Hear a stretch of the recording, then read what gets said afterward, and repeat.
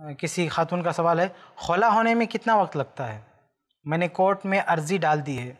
ये किसी का सवाल है कि खोला होने में कितना टाइम लगता है? तो देखिए एक मसला है शरीयत का और एक मसला है कोर्ट का। आपने कोर्ट में डाला है तो कोई वकील बताएगा कि कितना टाइम लगेगा।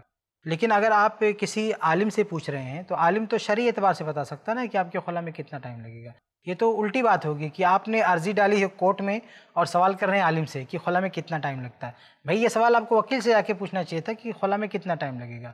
अगर किसी आलिम के ज़रिया खुला आपने लिया है तो वो आलिम बताएगा कि कितना टाइम लगेगा। लेकिन आप खुला ले रहे हैं कोर्ट में और सवाल कर रहे हैं आलिम से तो ये मुनासिब नहीं है। ठीक है? क्योंकि ये कोर्ट शरीयत के मुताबिक नहीं चल रहे हैं। तो बहरहाल शरीयत के अतबार से अगर हम बात करें तो अगर एक औरत खुला लेना चाहे तो उसमें कुछ भी टाइम नहीं लगेगा।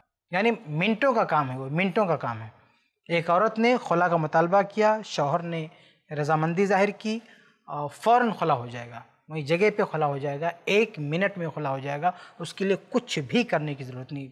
चंद सेकंड में भी खुला हो सकता है। इधर औरत ने मुतालबा किया, शौहर ने ओके बोला, हो गया खुला। अगर शौहर तैयार नहीं होता तो फिर वो काजी बीच में आके खुला करा दिया। उसमें भी ज़्यादा टाइम नहीं लगेगा।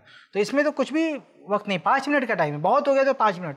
पाँच मिनट का वक्त काफ़ी है खुला के लिए। बाकी कोर्ट में आपने अर्जी डाली है, वो क्या करते हैं, वो अल्लाह ही बेहतर जाने, आप जाने, कोर्ट जाने, वकील जाने मुझे नहीं पता कि कोर्ट में कितना टाइम लगेगा, वो लोग जाने। शरीयत के मुताबिक अगर आपको खुला लेना है तो से रुजू करना चाहिए ये किसने आपको मशवरा दिया कि आप कोर्ट में जाएँ। तो कोर्ट में नहीं जाना चाहिए। अगर आपको खुला चाहिए तो उलमा के साथ बैठना चाहिए और मशवरा करके लेना चाहिए। इल्ला ये कि कोई झगड़ा हो जाए, कोई रास्ता ना बचे और कोर्ट भी शरीयत के साथ चलते हुए, अगर वहाँ से खुला हो रहा तो ठीक है। वरना ये जो निजी मामला हैं, इनको कोर्ट तक नहीं ले जाना चाहिए। हमारे जो पर्सनल मामला हैं, बगैर कोर्ट के हल हो सकते हैं तो हमें खुद अपने तौर पर हल करना चाहिए, उसे कोर्ट तक नहीं ले जाना चाहिए। उम्मीद है कि आपको जवाब मिल गया होगा। ऐसे ही और वीडियोस बनाने में हमारी मदद करें।